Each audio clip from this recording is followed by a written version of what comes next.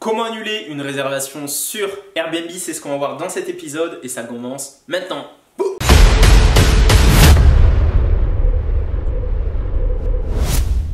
Salut, c'est Mathieu, créateur du mouvement des super hôtes et dans cet épisode, on va voir ensemble comment annuler une réservation sur Airbnb. Mais avant ça, si tu souhaites avoir un maximum de réservations et automatiser à 100% ta location courte durée, clique sur le bouton s'abonner et sur la cloche pour être sûr de ne rien manquer.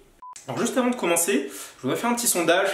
Indique-moi en commentaire si tu es présent sur Airbnb. Donc oui, si tu es présent sur Airbnb et non si tu n'es pas présent sur Airbnb.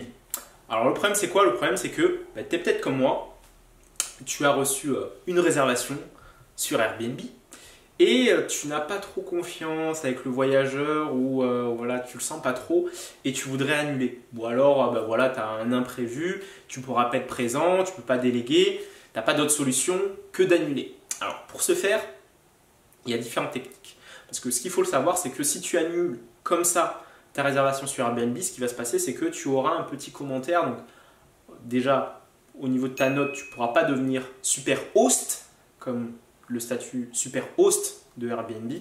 Et derrière, tu auras euh, dans les commentaires un petit écriteau qui indique que toi, tu as annulé la réservation donc, euh, bah, de ta propre volonté. du coup, vis-à-vis de la confiance des voyageurs, c'est pas vraiment top. Donc, pour ce faire, il y a différentes techniques euh, que tu vas pouvoir utiliser pour essayer de, on va dire, éviter bah, de perdre ton statut super host ou alors de euh, tout simplement bah, avoir ce petit écriteau qui va te mettre un peu dans l'embarras. Enfin bref, ce qu'on va faire, c'est qu'on va passer derrière l'écran. Je te détailler tout ça et on y va. C'est parti.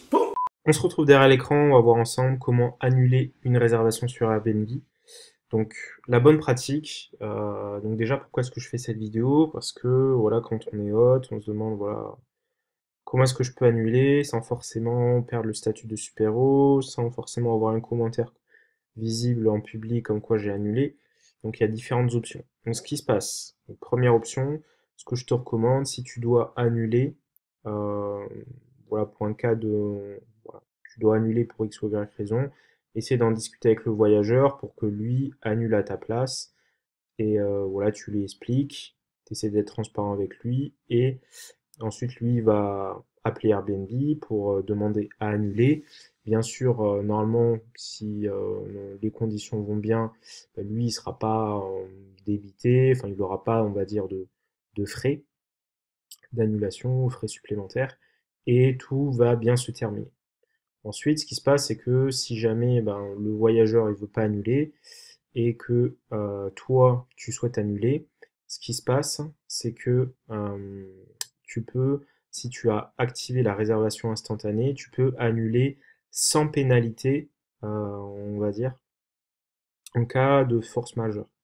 C'est-à-dire que en gros, euh, toi tu peux demander l'annulation jusqu'à 3 par an euh, si tu es en réservation instantanée, si tu es dans le cas suivant, soit le voyageur il a reçu plusieurs commentaires négatifs qui te préoccupent, soit le voyageur il n'a pas répondu aux questions que tu as posées euh, au sujet du voyage, soit le voyageur, ben, il indique clairement qu'il risque d'enfreindre le règlement et euh, derrière, voilà, qui va venir, je sais pas, avec un, animal, euh, où il va fumer, ou etc. Donc en gros, tu peux dire ça. Tu peux également dire que tu as eu un souci de synchronisation avec ton channel manager. Et là, il y a une procédure à suivre. Donc c'est très simple, tu vas dans mes réservations, tu sélectionnes la réservation en question et tu fais modifier ou annuler et euh, tu sélectionnes cette réservation ne m'inspire pas confiance ou le voyageur enfreint mon règlement intérieur. Donc, ce qu'il faut faire également, c'est qu'il faut appeler euh, l'équipe de Airbnb pour que eux bah, te fassent, euh, on va dire, cette annulation sans pénalité. Et comme ça, tu vas pas perdre le statut super host et derrière, tu seras pas, on va dire, embêté. Il n'y aura pas écrit que tu as annulé la réservation, mais tu peux le faire uniquement que trois fois par an. Par contre, il ne faut pas en abuser parce qu'après, euh, ils peuvent te demander de désactiver la réservation instantanée. Donc euh, voilà, ça c'est une autre option que je t'invite à faire. Et après, il y a, on va dire, des, cas de force majeure, style euh, il y a eu un décès, grave maladie, tu as des obligations officielles. je te laisserai regarder cette documentation. Mais dans les grandes lignes, c'est ça. Donc, tu as quand même l'option de pouvoir toi-même annuler sans forcément que ça passe. Mais tu as uniquement trois essais. On n'en parle pas souvent. Mais c'est toujours bon à savoir. Donc, voilà pour ce qui est de ce tuto. On se retrouve tout de suite dans la caméra.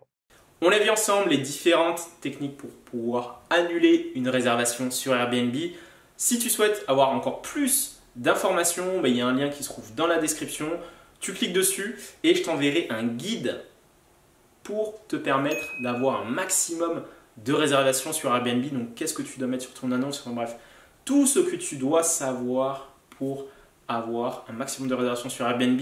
C'est un guide offert. Donc, il y a un lien qui se trouve dans la description. Tu cliques dessus et euh, je t'envoie par email ce guide pour te permettre de passer à l'action et de mettre en place les actions qui vont te permettre d'être devant tes concurrents et d'avoir un maximum de réservations.